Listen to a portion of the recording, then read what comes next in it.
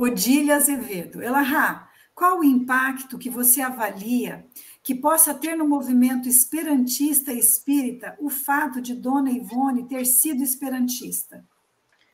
Ci volas que me respondas al vi, esperante ao Portugale.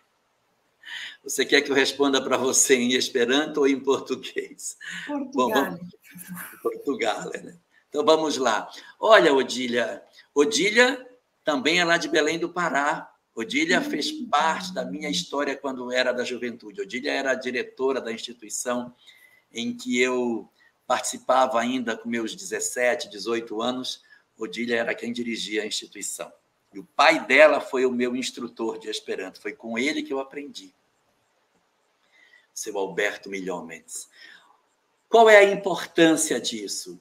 É o resgate do valor do Esperanto para que a gente possa compreender esse esforço de união das pessoas em torno de um ideal comum. No livro Memórias de um Suicida é bastante destacado a questão do Esperanto lá. E a gente vai perceber aonde o Esperanto se insere. Aqui, só fazendo um parênteses, Marcela, ele se insere da seguinte forma: todas as vezes que duas pessoas se encontram, que precisam dialogar, vai ter que escolher um idioma para falar.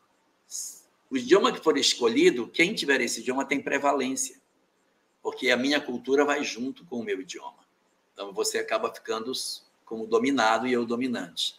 Mas quando nós, cada um conhece o seu idioma, mas todos conhecemos dois, o seu e o Esperanto, nós conversamos em igualdade. A proposta do Esperanto não é ser a língua universal, mas é ser a língua internacional.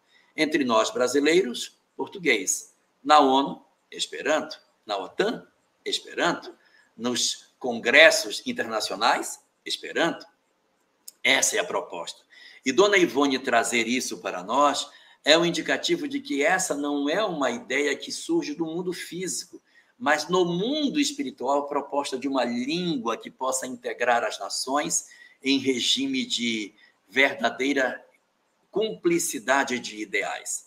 Termos a possibilidade de de ter alguém do quilate de Dona Ivone falando do Esperanto, sendo esperantista e defendendo o Esperanto, é muito importante não só para o movimento espírita, mas para que a sociedade como um todo perceba a importância do Esperanto no grande cenário que a gente tem de desenvolvimento da fraternidade universal que o Espiritismo auxilia a gente a desenvolver.